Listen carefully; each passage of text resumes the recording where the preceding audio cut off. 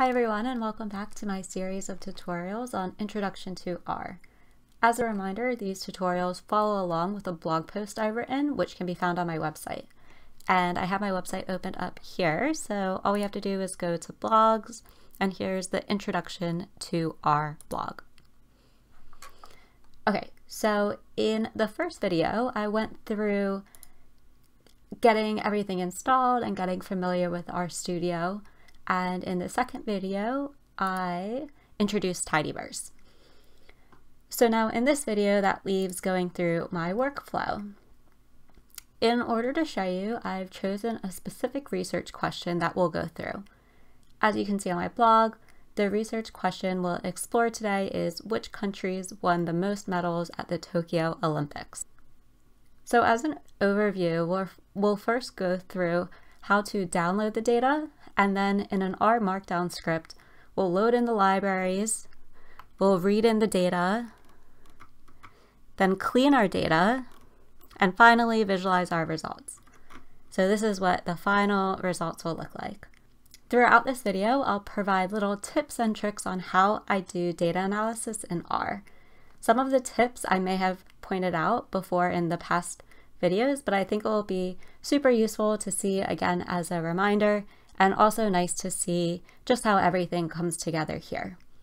All right, so let's get started by opening up RStudio. And actually, the very first thing I'll show you is just a few settings that I like to change within RStudio. And now everything that I do here is just my personal preference, so feel free to change these as you wish. But it we go to Tools and Global Options. The first thing in this R General tab, there's an option to save the workspace to a .r data on exit. And it by default, it's set to ask you, which means that every time you close out of RStudio, it will ask if you want to save your workspace. And your workspace is just anything that you have in your global environment.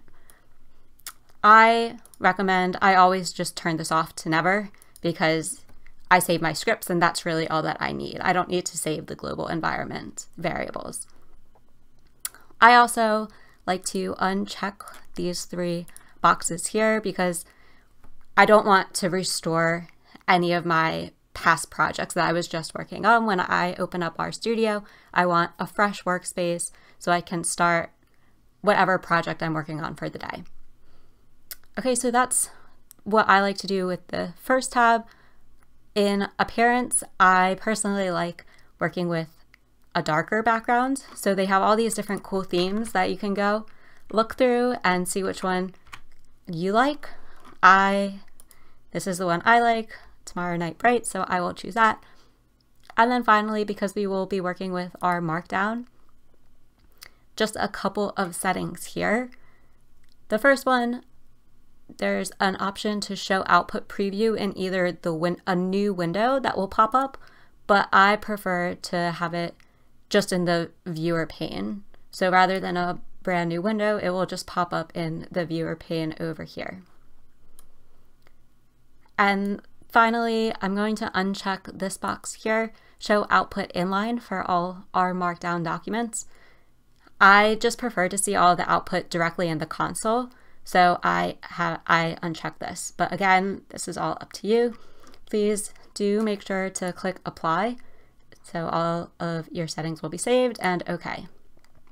Okay, so now we're ready to get started working on our research question. So as this is a new project, of course, the very first thing we want to do is create a new project, which is nice and easy to remember.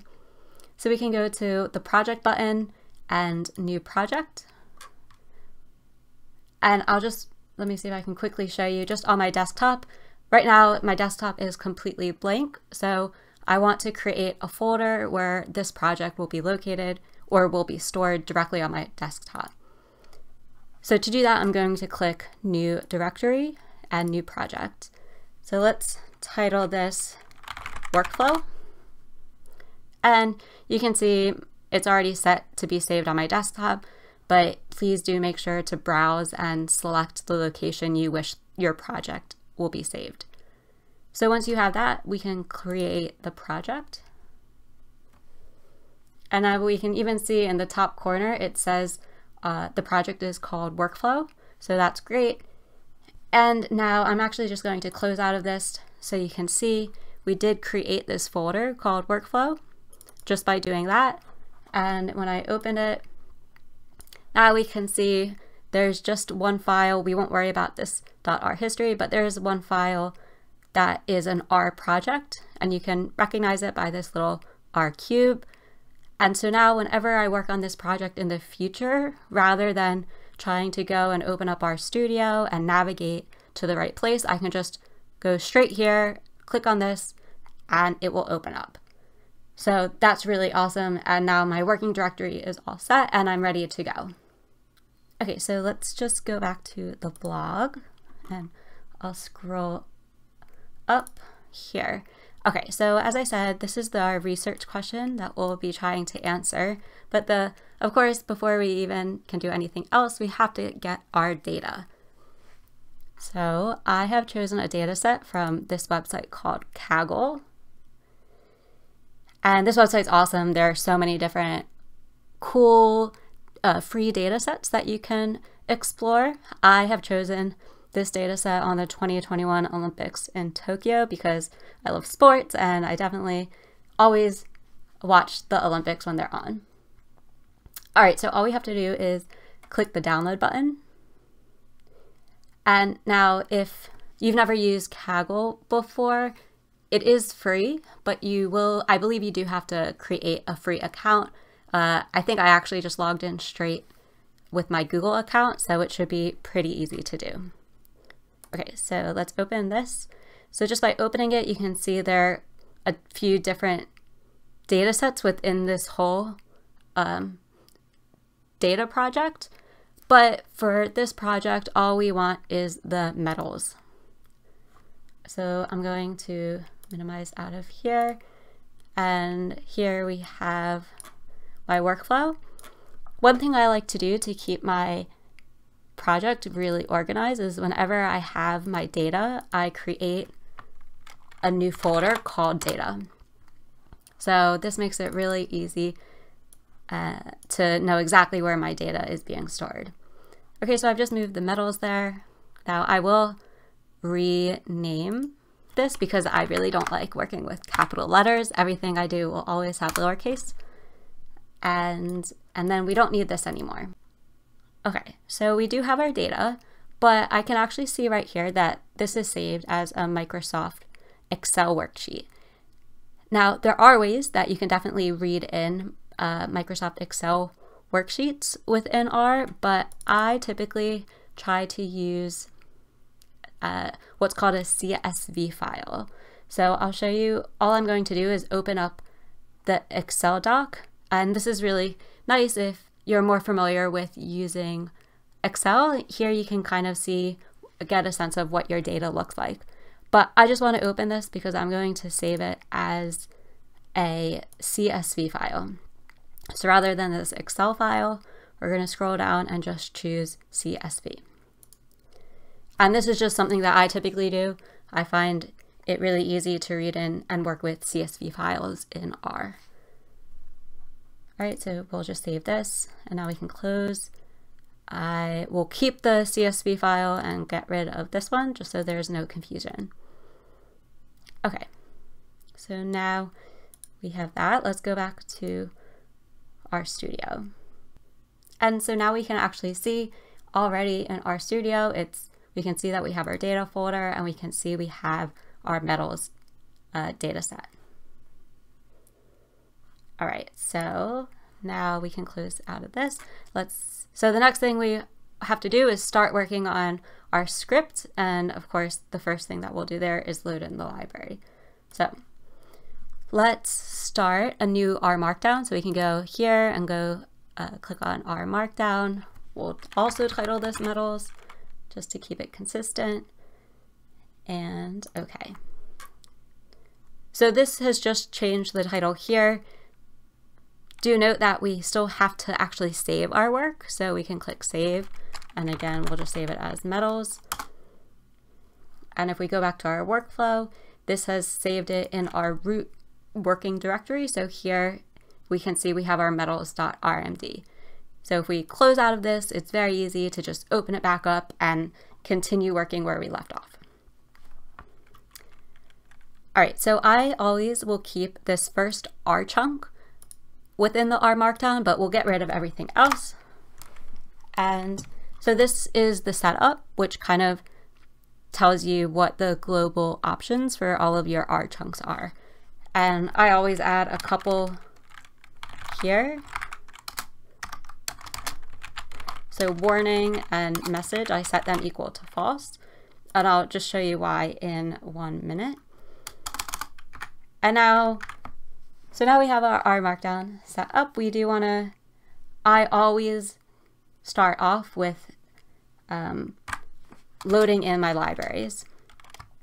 So load in libraries.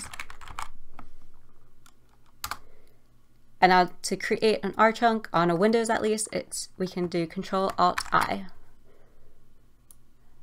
And I'll just make this a little bit bigger. So now the, the libraries I know that I need for this project will be tidyverse.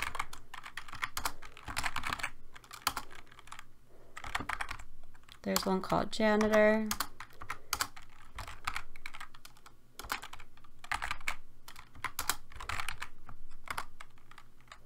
And finally, one of my personal favorites, ggeasy. And I will point out here, you can see as I start typing, there is the suggested package here. So that's a really good indication that you already have this package installed because R recognizes it. Of course, if you've never used one of the packages before, you will have to install the package. And as a reminder, you can just do install packages. You need to put quotes and then put your package name in. So this is the one-time thing. You can, you can do it straight in your console.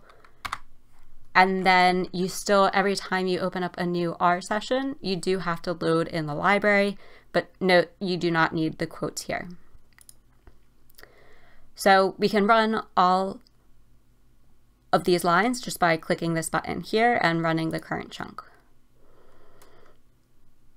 Okay, so here we can see all of the libraries are loaded in, but there are a few different warning messages. So if we, just to show you what I've done up here, I will actually remove this and knit the file.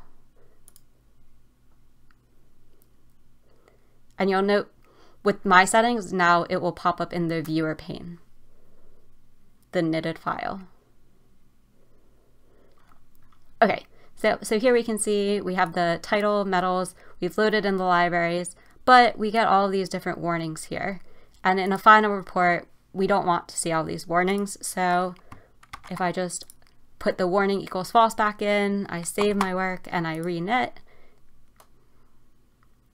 we will take a look and see what this looks like. All right, so this is much cleaner, right? We can just easily see all the libraries we loaded without all of the warnings. So that's why I always start off by putting in uh, uh, these extra arguments in the these the setup options here. And of course, as you're going and working on a script, sometimes you'll discover packages that you need along the way. That's awesome. I do that all the time. But when that happens, I'll always come back and add the packages add the libraries to this very first R chunk here, just so that I keep everything organized and it's the first chunk of code that will run, so all of the packages will be loaded in at the very start. Okay, so next we want to uh, read in our data. So let's go back to files. And remember we have a folder that's called data and then our data. Oh, Another really cool thing, let's just, I'll make this a little bit bigger. There's this button up top here. This is an outline feature. So if you click on this, you can see that you're, you can create an outline as you type and as you build your script. So right now I'm writing read in data. And this is really handy because in order to create the outline, all you have to do is have headers. So we can navigate to our document based on our headers. Okay, so I'll just keep this open so you can kind of see how it works as I can as we go through.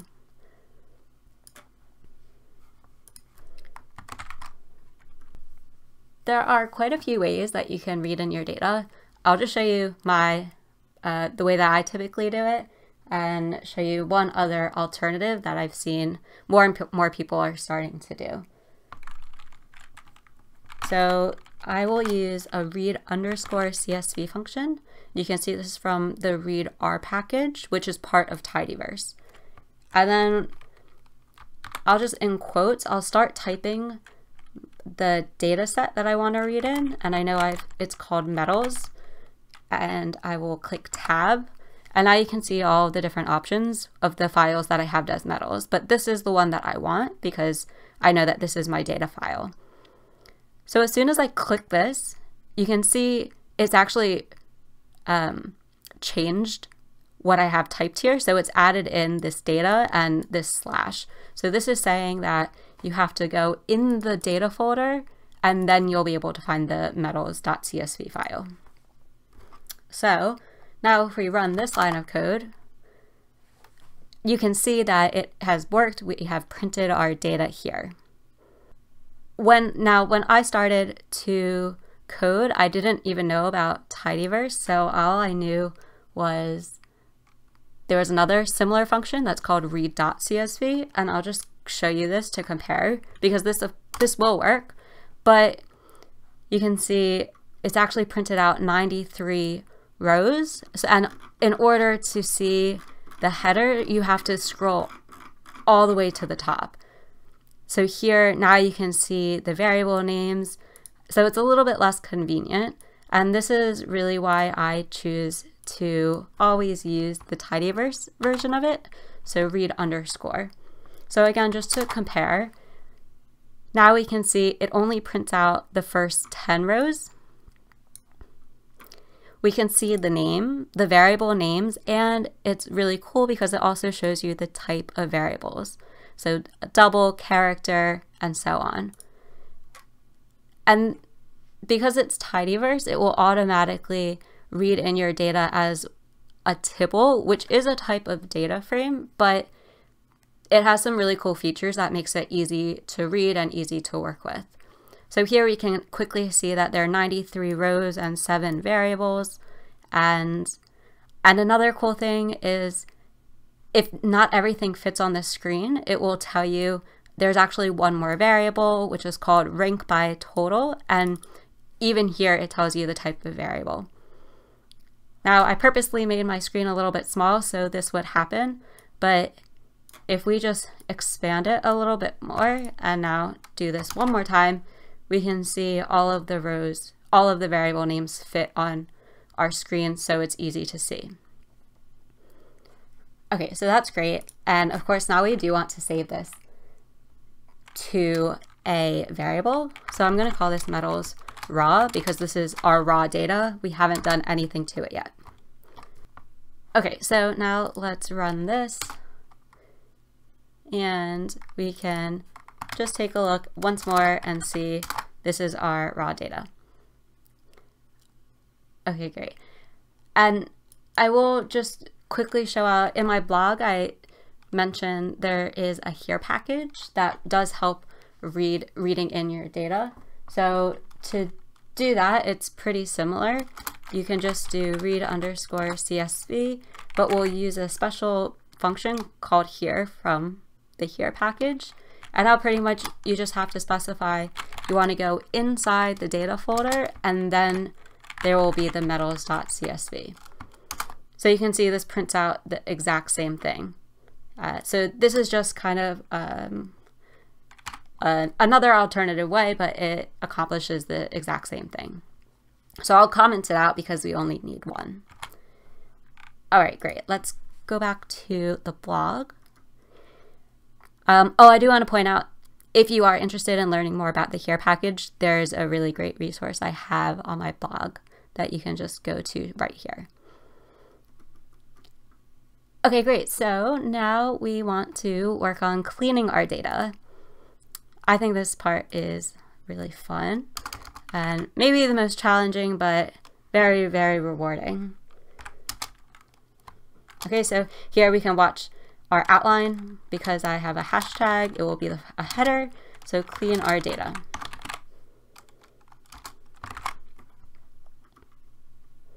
So in order to clean our data, uh, we will rely on tidyverse to help us out. And the first thing we want to do is start with, of course, our data. And we will be using the pipe a lot.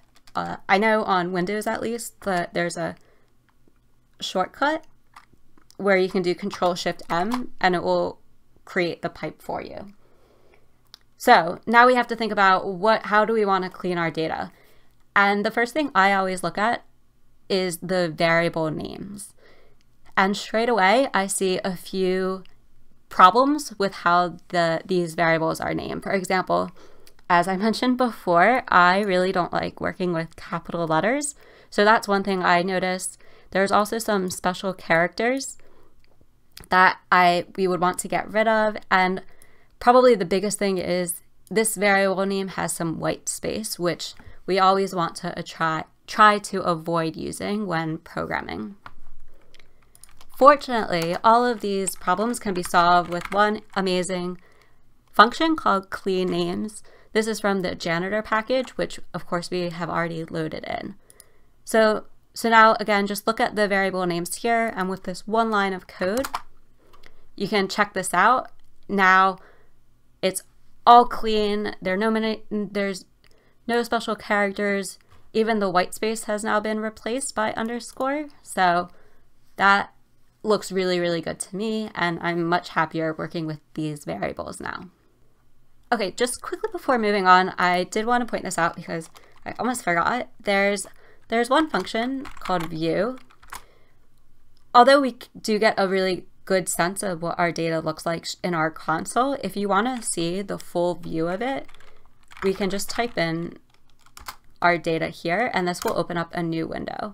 So now you can see this has popped up and we can scroll and see our the entire data set here. So we, we don't really ever have to open up that CSV file anymore outside of RStudio because we can see the full data set right here.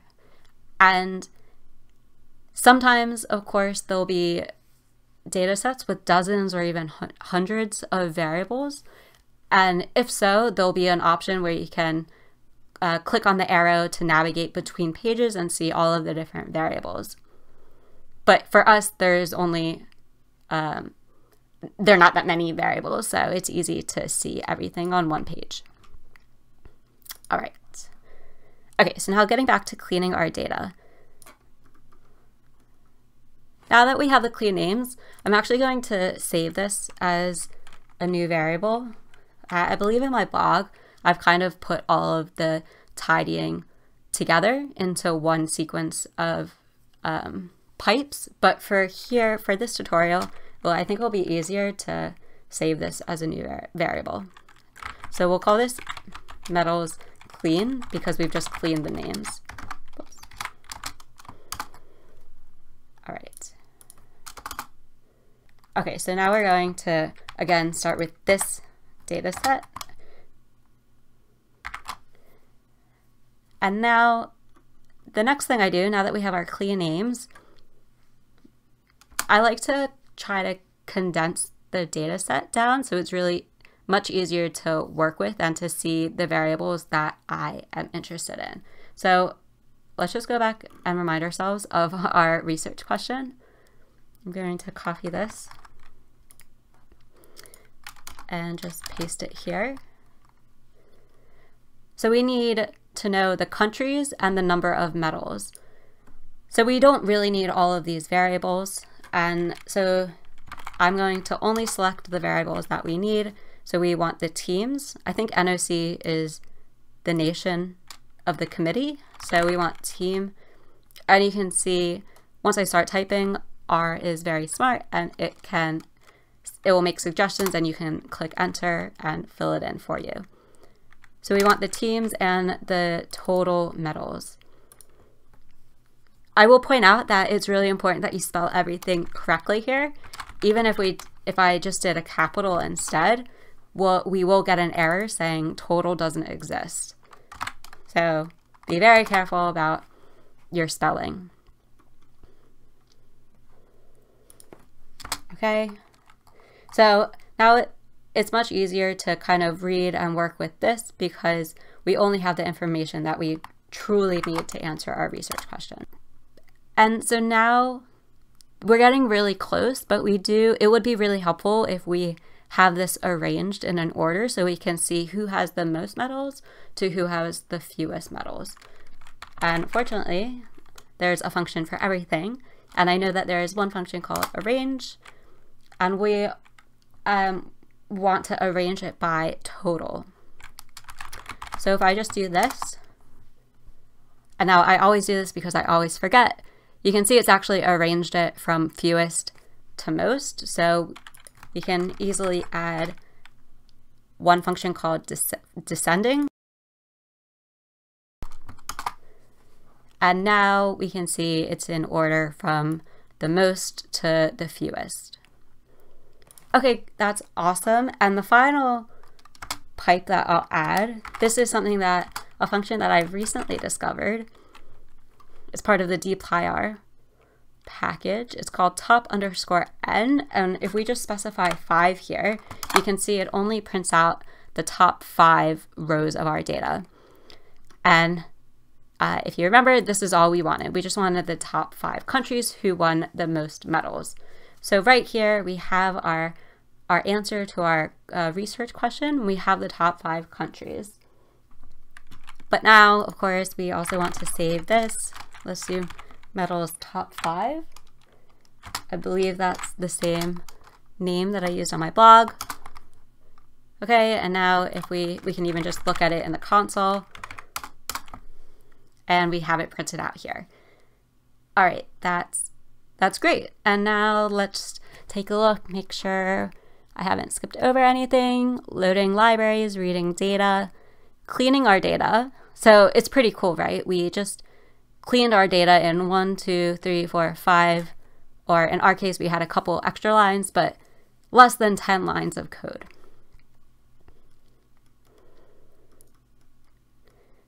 Okay, so now for the very fun part, visualizing our results.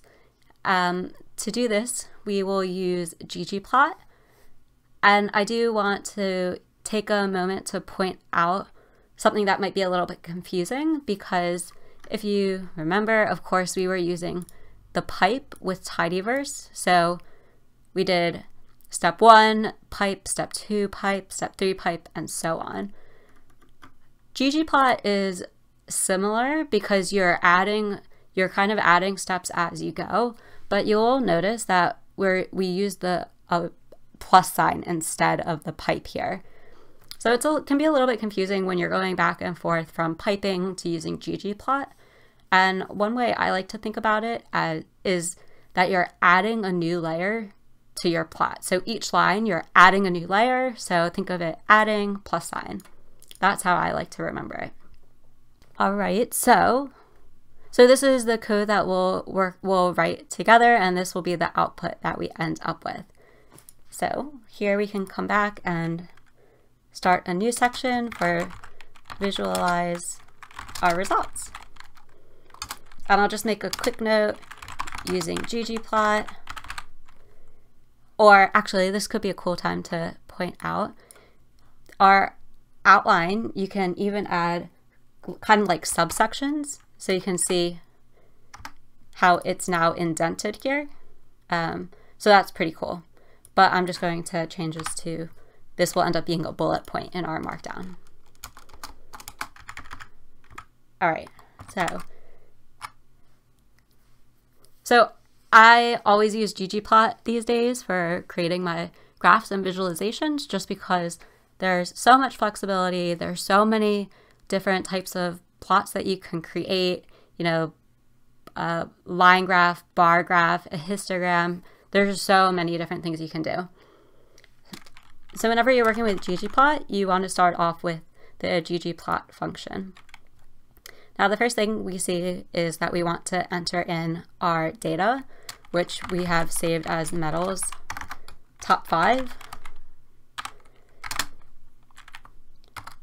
And then I just click tab so you can see the different arguments. And I know the second one is mapping and you have to specify your, the AES, which stands for aesthetics. And here you can see you have to specify your X and Y. So this, so this is really telling your plot what do you want on your x-axis and what do you want on your y-axis. So for us, we want to have the team or the country on the x, which we have as team underscore NOC, and the y, we want the total medals. Okay, great.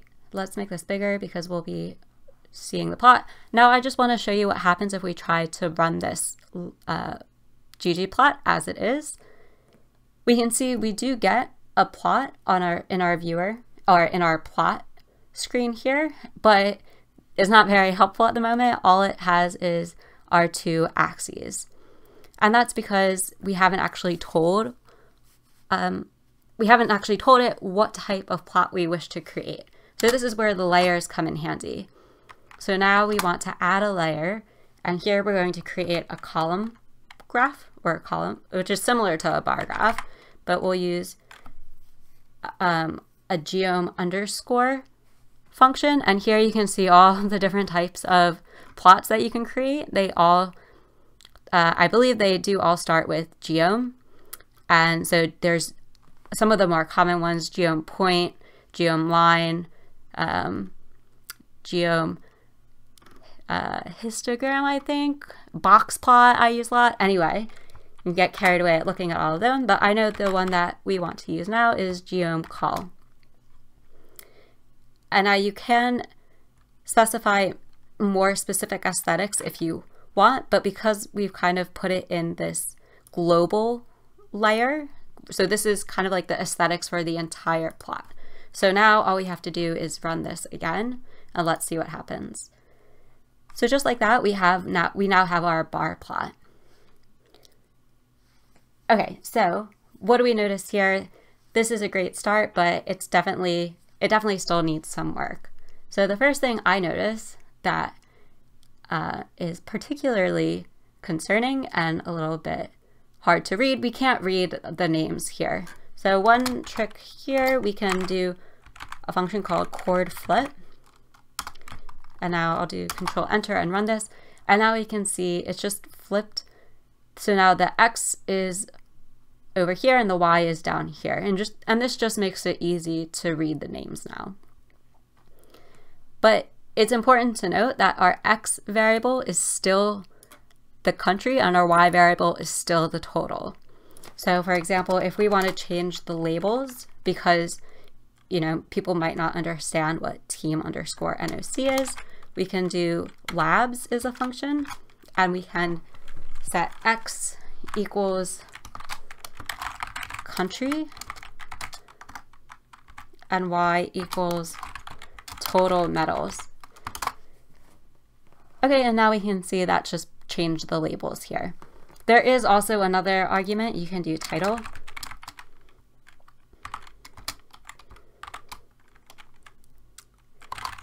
Um, top five countries or something like that. So I don't often put in a title, but that is just one argument that you can specify here. Okay, I'll leave that out for now. Uh, the next thing I usually do is I, I change the theme of my graph. I don't particularly like this gray background of the plot, so there are a lot of different themes that you can check out. As soon as you start typing it, you can see them all here. So I'll just choose one. Let's just see what this gray does.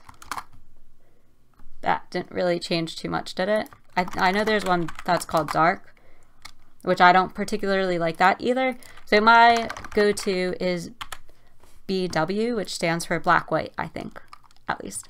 Okay, so now if we do that, I just like that. It looks clean and I tend to use this one all the time. So now, of course, one thing I don't, you know, it's not the prettiest, it's all gray. So let's add some color to our plot. To do this, we'll go into our aesthetics function here and we'll add in a fill So this will fill in the shape that we have here, and we want to fill it by the teams. Okay, so let's just take a quick uh, look at this, make it a little bit bigger and easy to read. So this has definitely added color, but we'll note a couple of things here. First of all, it's automatically added this legend. And of course, a lot of times you will want and need the legends in order to interpret what's going on in your plot. But for us, this is a little bit redundant because we have all the inform information on our plot. So I'm going to show you, this is where the ggeasy package comes into play.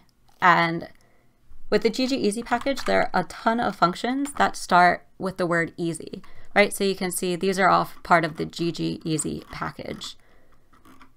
And these functions are all kind of like helper functions to make working with ggplot a little bit easier and just like shortcuts to help you do things in just one line of code.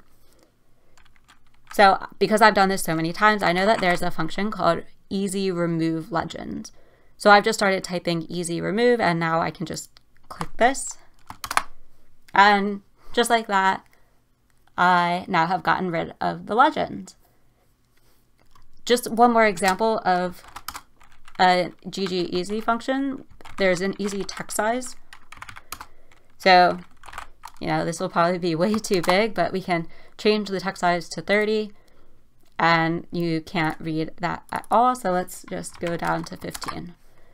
And it makes it a little bit easier to read, especially if it's going to be um, saved somewhere uh, or part of a final report. Oh, one thing to point out here, the this fill option or argument we needed because we have uh, a, like a bar graph and it's a shape. A lot of times if you want to add color, for example, if you have geom point and they're just individual points, you'll use a color argument instead. Sometimes I'll forget and I'll just put color in, but we can just take a look and see all this has done has it has done a little outline to the shape. So when that happens, you just say, oh, yes, I actually meant to do the fill. Okay, I think the very last thing that I want to do to this graph is try to get the uh, countries in order from most medals to fewest medals, just because that makes it much easier to read and interpret our final plot. Okay, and to do this, we'll go back up to our aesthetics again, and with our x variable, we're just going to add a function here called reorder. And now we want to reorder this variable by the total and sum, and the sum of that. So now I spelled total wrong. Uh, let's try that again. Okay, so now you can see it has reordered them and that looks really, really good. So now we have our final visualization. And so let's just take a quick look at everything that we've done. We've loaded in our libraries. Oh, and we can even navigate here. We read in our data, cleaned our data, and finally visualized our results. So I'm going to save the work and as a final step, I will knit our markdown file.